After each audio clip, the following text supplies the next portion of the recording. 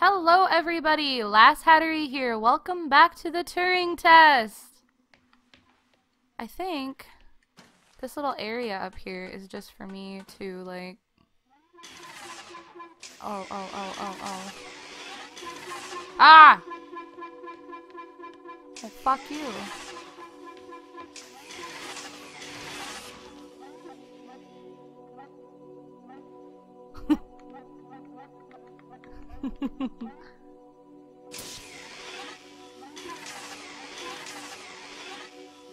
well.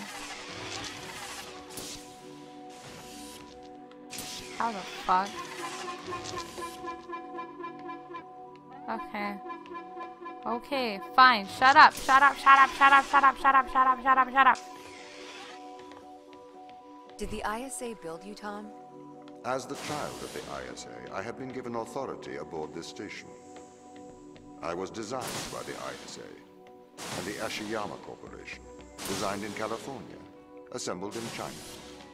But here on Europa, I constructed myself. Huh.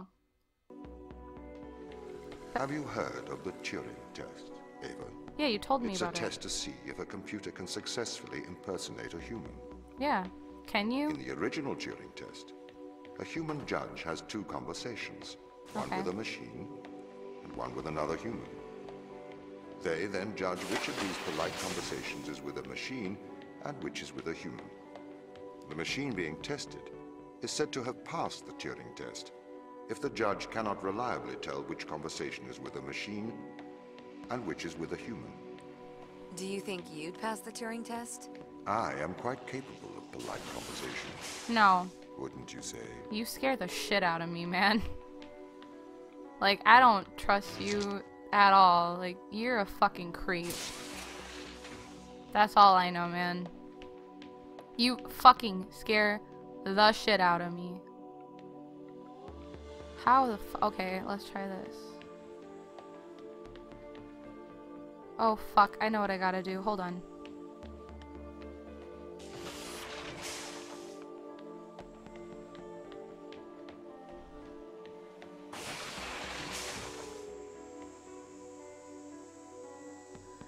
How the fuck am I gonna get this up there, though? Oh, because I go like this. Well, that solved that. I am too smart. I'm not that great, honestly. Boom, boom. There, I saved the day. I saved the Europa team. You're all very welcome. Well, I thought I was doing good. I'm guessing we need to go. Come with me, please. You stay right there. If I need you, I'll be back. I need. Maybe not. Hold on.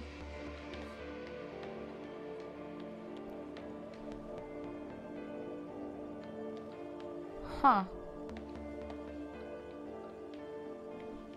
Okay, hold on. I'm missing something.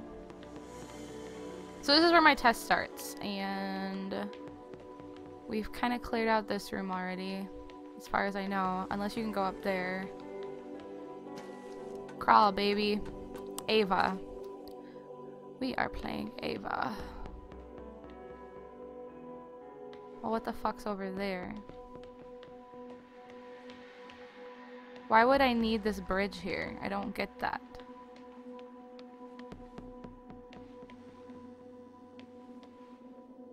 Like, what's in there? That's what I'm trying to figure out. You know what I mean, Jelly Bean? Maybe it doesn't matter. Maybe I have all what I need right now because you just go like this. I'm so tired. I shouldn't be allowed to play video games at all. fucking A. I've been walking around with the things I needed to complete the fucking puzzle for like a solid minute. Oopsies.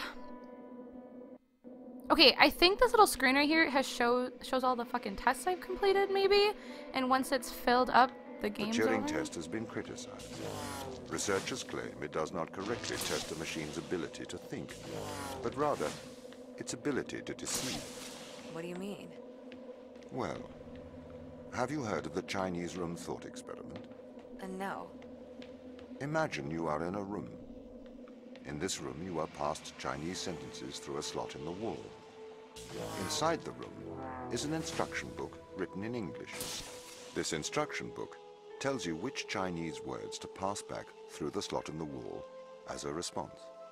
By doing so, you have a conversation in Chinese. Okay. Tom, you kind of freak me out, man. Just a little bit.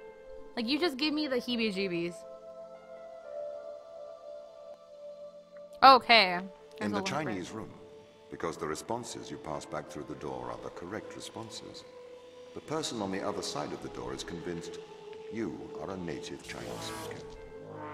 Well, they're wrong. Perhaps they are not, Shit. because with the instruction book, you are having a conversation. But the person stuck in the Chinese room is not aware of the conversation's content. This is the problem with the Turing test.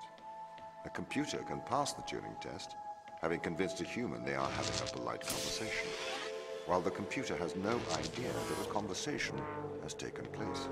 What if both of the people passing Chinese words are reading from instruction books? Yeah. Didn't think about that one, did you, motherfucker? Okay, I get it. Ah! Nope. I don't get what it's telling me to push in. Oh! How the fuck did that work?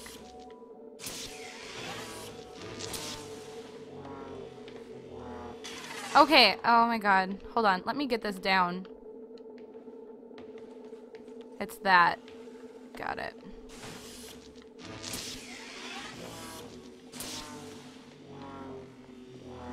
Oh, I made it! Ah!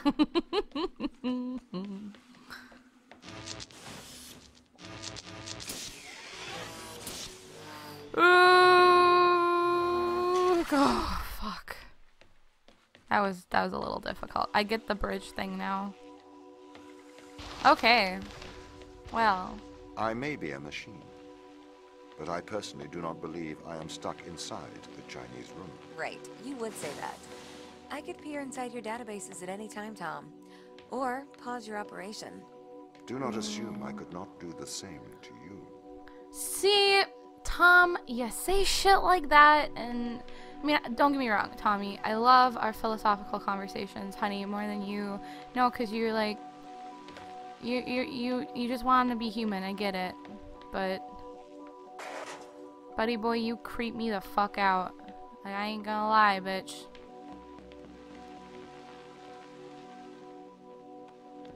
This is confusing. Where do we go with this? Down this way, maybe? Hmm. I don't understand what these. Who made all these tests? Who's the fucker I need to hate for it?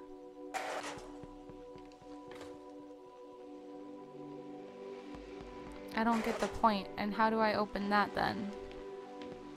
Oh, like this.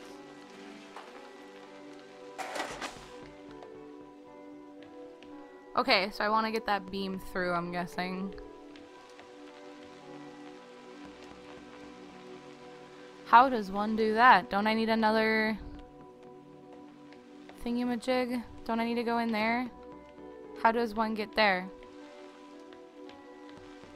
Hey, you could you could help me. This fact that you can't complete these is bullshit. And we both fucking know it, let's be honest. What I don't understand is there's a room that's in here. How do we get how do we open this door? That is the question. How do we Can you get the the line to hit that? Is that what I'm supposed to do? Okay. Kind of get it. Hold on. Maybe.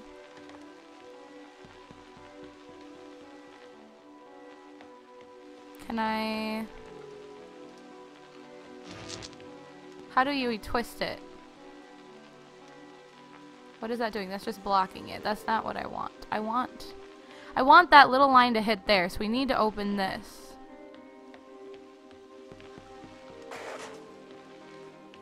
Right? I want... mm, I want that... That to go through here. But I don't understand... Oh! Hmm, well... That solves that. Okay, now that opens that up. And I can run... What's in here? Oh. Well, guess what? Wrong, wrong, wrong, wrong, wrong. Fuck my life. All the way back, switch 'em, switch 'em. Give me this. There, fuck you then, game. Fucking make me put shit a certain way. Fuck you. How about now, bitch? That's what I thought. Ugh. Oh. This is the crew's quarters. It looks abandoned. Great. Well, that's... Wait, was there a note? Notice. I do not need... I do not see the need for so many cameras. Tom's presence everywhere is slightly oppressive. I understand the need for transparency, but why is he in the toilets? I love the music so sad and it's talking about how he's peeping on them. There's like pictures in there. Is there something in there that I need to see? There's a sticky note. Don't touch. This is the fifth time. Okay. Hmm. It's really sad. Can't believe he was watching them pee. Sarah Brooke. So this is Sarah's room. Okay, okay. Tom Touch OS. O, o, OS, it just says. Strange thermals on the west side of the crater. She's like making herself a note. Sarah had a dog! Oh god, we gotta find Sarah, guys. It's imperative that we find Sarah. Look at all these fucking pencils. This bitch was fucking neat as hell. Dear Tom, knowing that you're always watching, I thought I would write you a letter. As you no longer reside in my mind, I've decided to transfer my thoughts to text. I want to do so in the form of a history lesson, a lesson that perhaps you'll find condescending, but it's likely more for my sake than yours. Alan Turing is considered a father of theoretical computer science and artificial intelligence. Perhaps a lesser known part of his life was his contributions to the field of biology. Why do you suppose his interests lay in those two disparate fields. I assume it was because he believed the world to be logical and understandable.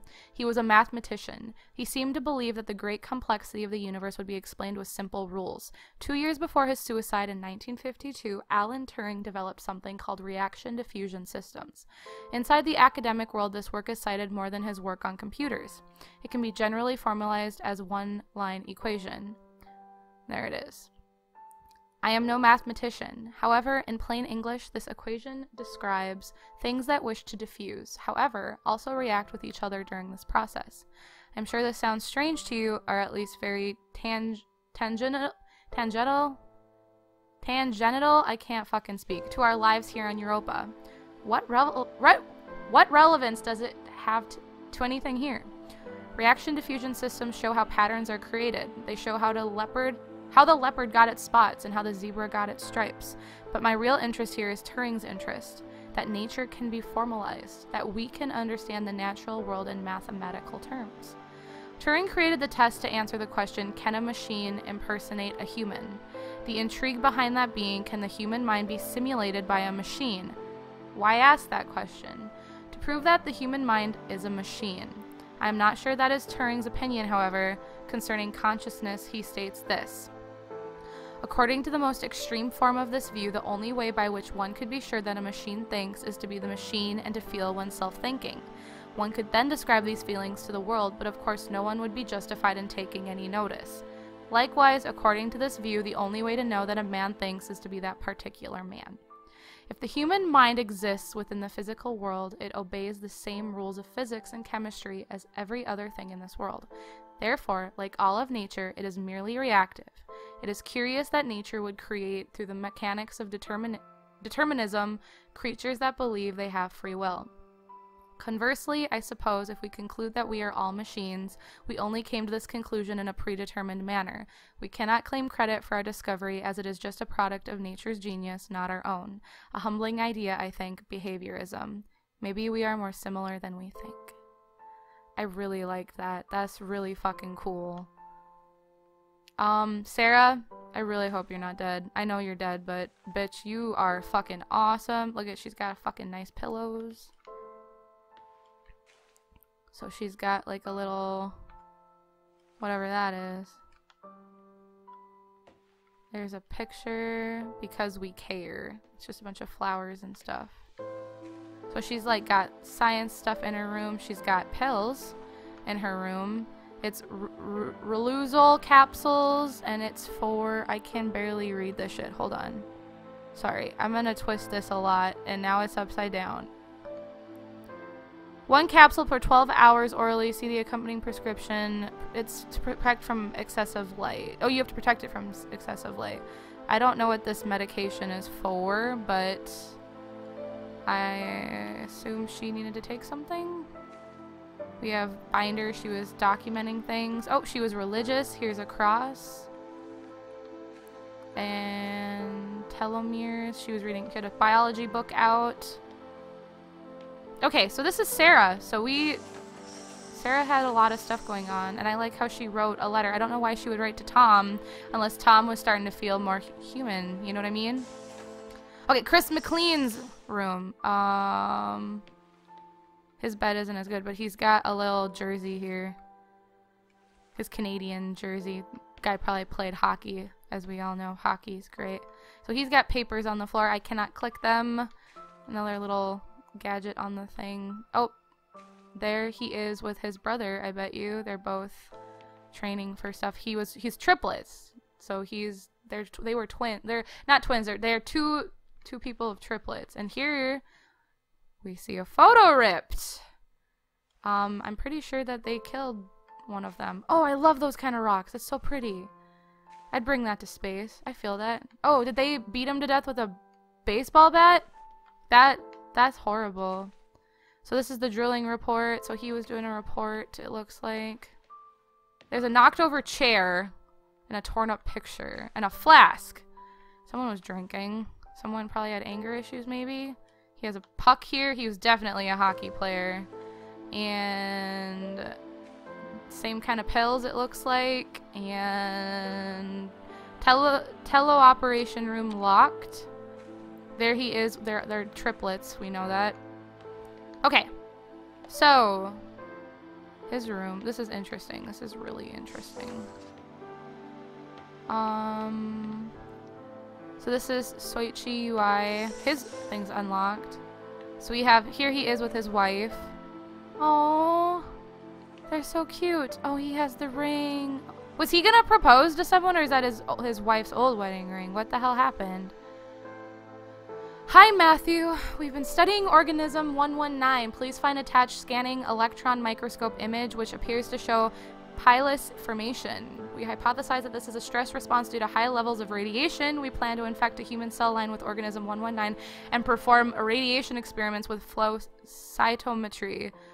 Would this be appropriate? It would be great if you could get the department to look at the SEM image. Regards, Soichi. So that is the attachment. Hey Soichi, it was great to see this image. Wow, yet more complex life on Europa. I'm not, I can't read that. Might be worth looking at as it survives very high levels of radiation here on Earth. Similarly, you should consider looking at all of these different fucking huge science words. Produces pili in response to radiation and uses them to transfer um, DNA. I'm kind of struggling to read this on that background. It's kind of hard. Perhaps your organism uses a similar mechanism. Have you considered that organism 119 is tran transferring or scavenging DNA as a method of surviving radiation? As you well know, in terms of radiation, Europa serves 5.1 SV per day, over 300,000 times the level on Earth. The organism must be evolved such a high resistance to radiation as a necessity of survival. That said, radiation beneath their, their molecular mo mo molecular, I don't know, is much lower due to the thick ice crust. Radiation experiments with flow cinematography look like an appropriate course of action. Hi, Matthew. We have attached an image confirming the organism 119 attaches to human cells. We will proceed with radiation experiments on these cell lines. We propose naming organism 119 Europa radiophilus. What do you think, Soichi? Hi, Matthew. You have now run the irradiation experiments and can now confirm that E. radiophilus does indeed seem to confer resistance to radiation. See attached. We assume survival is due to DNA damage repair. We tagged various DNA repair enzymes. Okay, so something's amiss. We don't know what is performing the repair. The lab doesn't know how it could repair the DNA. Have you considered that another organism may be in a symbiotic relationship? Perhaps a virus. We ran a PCR in the human cells exposed to E. radiophilus to see if there was a pre virus present. We have discovered an unknown virus, which we named unknown Europa virus. So there was a virus on here. This is phenomenal. You need to sequence this. We finished sequencing it. D data is attached. It is a virus unlike anything we've ever seen. Maybe we have found a cure for sen senescence. I can't see that. I can't understand. A form of biological, a biological immortality. We are running some long-term tests on planets and mice to plants and mice to see the effects. The plants are clearly exhibiting longer lifespans than exposed when exposed to the organism. We don't have the facilities here to continue testing. We are going to we are going on to human testing.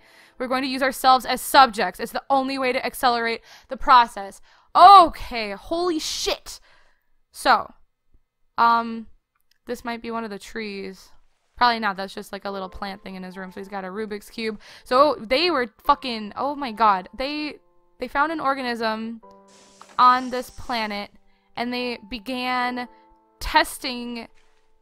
They're so cute. They began testing on themselves, and that is not good.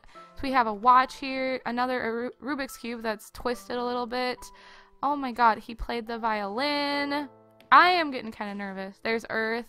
There's a picture of Earth. He's got motion sickness relief. There's those pills again. And let's see. Oh boy. So what is it that you found then, Soichi? Chris. We found an extremophile, an organism that can live in extreme conditions that survives massive doses of radiation. Radiation damages DNA. The extremophile is a virus living inside of it. It scavenges DNA from other organisms, which the virus uses to repair the extremophile's damaged DNA. Essentially, they work together to survive in what's called a symbiotic relationship. So what's the implication? What does what does it do? In some ways, it is it is an immortal relationship. It doesn't seem to age biologically. Aging and death are ultimately caused by DNA damage. We have the ability to fix our DNA, but that ability is limited. This organism can repair damage caused by massive doses of radiation. If we could harness this power, we could potentially eliminate biological aging, what is known as senescence. So they're like they found like immortality is what they fucking found. So you found something that can make humans immortal. Not exactly. There are many causes of death other than DNA damage. It would not save you from trauma, brain damage, cardiac arrest, but it could potentially cure cancers and many genetic diseases and massively increase life expectancy. Oh my god. So I have a feeling that um this is not good. That's all I'm like, oh my god. This is crazy. So we got Mikhail and we heard him talking to, oh, he's painting. Look at that. That's so nice. He was talking. Are those needles? Those are needles. What the fuck? And there's paint on the floor. So there's needles on the floor. What the hell? He th that that recording said he was disassociating. Remember that? He's the Russian guy. He's got needles all throughout his fucking room.